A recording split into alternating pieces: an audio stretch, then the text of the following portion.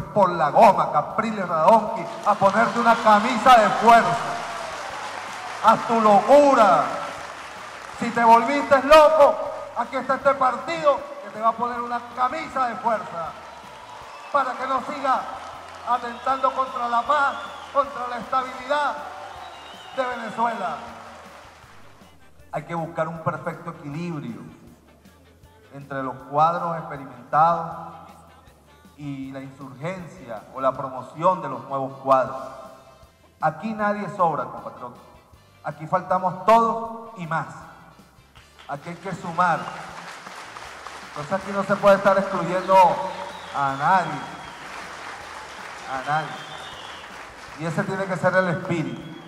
El espíritu con el cual debemos ahora, esta dirección regional, avanzar en el trabajo de reforzamiento de las direcciones municipales, de las direcciones parroquiales y luego de las estructuras de CLP y VC, como es el trabajo que nos toca hacer en una primera etapa ahora, dirección municipal y parroquial, en un mes.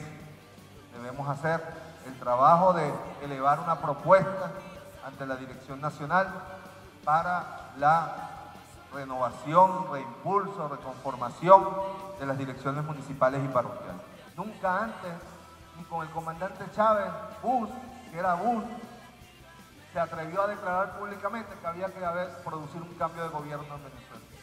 Obama lo acaba de hacer. Además, con una ley, con un decreto, donde nos considera una amenaza. Que nadie le quede duda que esta confrontación es directamente con el imperialismo. Porque el imperialismo está en una ofensiva contra Sudamérica. En la madrugada de hoy, como ustedes saben, se consumó otra etapa más del golpe de Estado. No hay otra manera de llamar lo que está ocurriendo en la hermana República Federativa del Brasil que un golpe de Estado contra la compañera Dilma y desde aquí el Partido Socialista Unido de Venezuela de Miranda se solidariza plenamente con el Partido de los Trabajadores, con el Movimiento Sin Tierra, con los movimientos sociales, los partidos revolucionarios del Brasil. Llegó la hora de nosotros ponernos rígidos y duros, porque lo que está en juego es la defensa de la revolución, del proyecto nacional bolivariano, compatriotas.